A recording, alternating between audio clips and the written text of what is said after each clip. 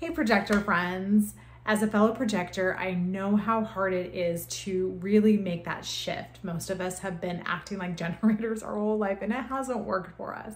So really stepping into our projector magic is hard. It, it does go, is going to take more work to decondition from that uh, go, go, go mentality and having to hustle, hustle, hustle to really owning that we need to work less that we need to work smarter and be more efficient with our time and really be more guided in how we move through this life. Our life is really here to see and guide people. And I know as we get closer to that 2027 date of shift, that we're all feeling that like call up, almost like being called up to the majors right now um, to step into our full projector energy so that we can lead and guide and really help as we up level as a planet. So this course, this mastermind container, it's three months and we'll meet weekly. Uh, with holidays, we'll juggle around them, we'll make it work.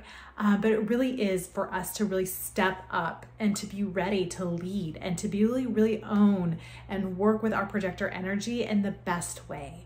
I really want to see each and every one of you thriving in your projector magic. Let's rule the world from our beds. Let's make a lot of money and make it easy and effortless and really call in those invitations that are guiding us in the right direction. I hope I join you. I hope you join me in this group. It's going to be magical. Much love and we'll see you soon.